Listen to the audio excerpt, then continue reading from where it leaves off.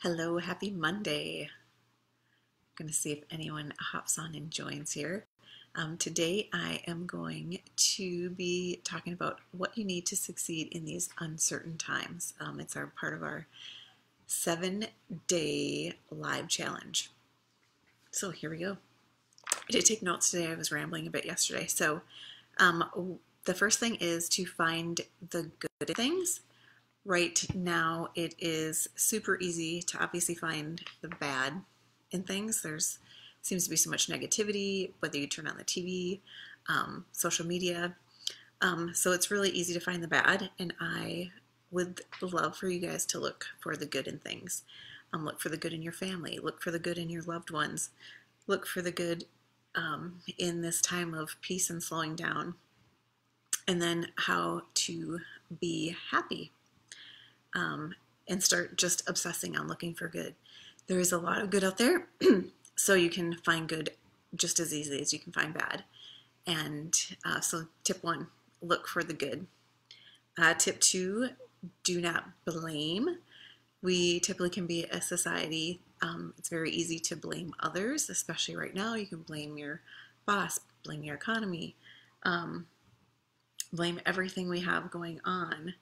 Um, you know, we're in the middle of a global health scare, and the economy is truly shifting daily. Um, I had a couple of closings today, and Friday afternoon everything was normal. Today we have to print things off, have them signed, can drop them to the title company.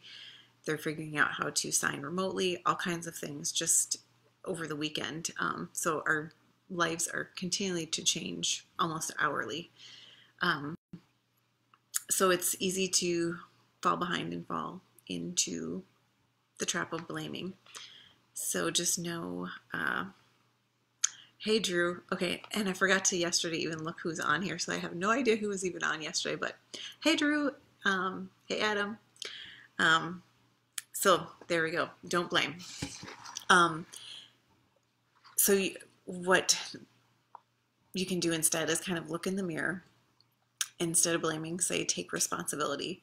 Um, you know, if you are have one of those careers that you are not working right now, like me, my husband, so many people, um, you know, you can look in the mirror and say, okay, what am I going to do? We don't know how long this is going to last. So, what are you passionate about? Um, whatever you're passionate about, you can probably um, figure out how to do it online. There's so many courses right now.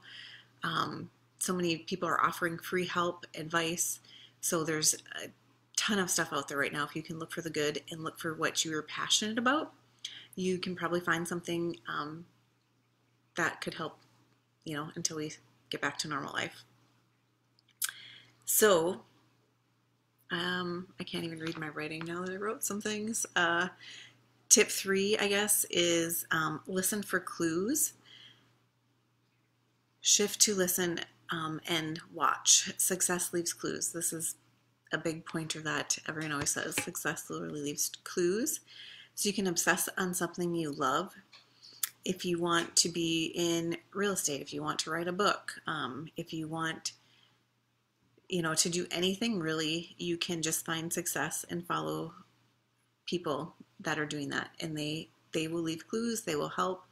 Um, every mentor I've had loves to help. Um, so find a mentor, find a mastermind, find a coach, immerse yourself um, because right now there's so much training out there. Um, people that normally get thousands of dollars for their programs are offering it up free just to help people in their mindset. So even though times are bad, um, today I believe this was all designed for a reason.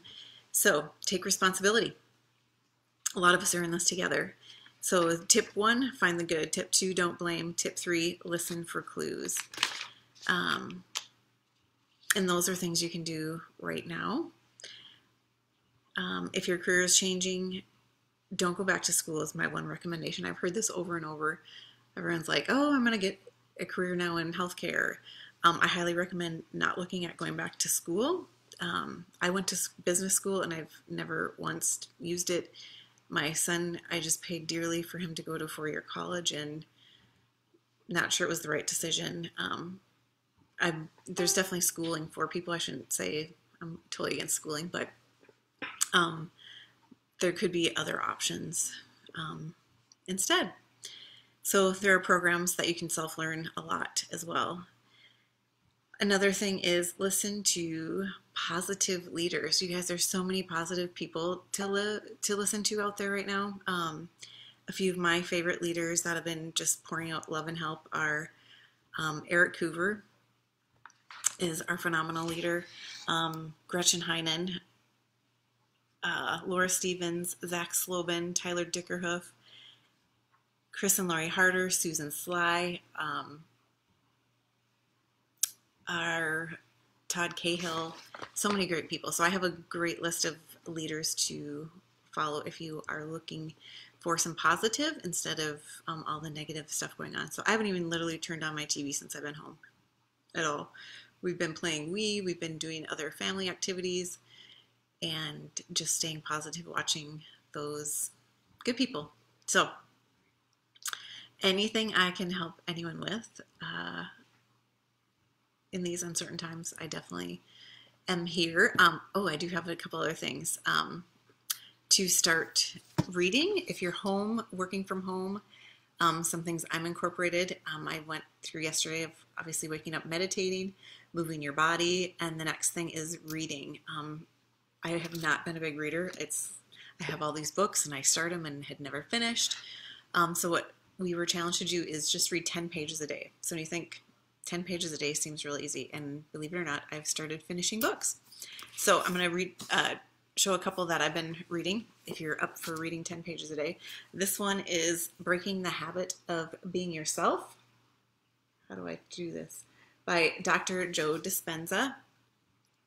And this one really talks about um, the practice of meditation and how you can lose your mind and really create your new self. And um, I'm just starting in this, uh, but this book has been phenomenal. That's a good book. Um, the next book is You versus You um, How to Kick Your Own Ass and Win. Um, really just works on your mindset, and it's a great, great read. Um, Simon Sinek, always a great one. Start with why. Um, if you're wondering what to do in life, you know, you can start with your why. This one I'm halfway through now. The emotion code, and this um, talks about um, how to release your trapped emotions for abundant health, love, and happiness. And this is what I'm going to be focusing in on is um, the emotion code and um, helping release people's emotions. So I'm learning about this, going to be working on this in the future. So super excited about that. So those are a few ones I've been reading recently.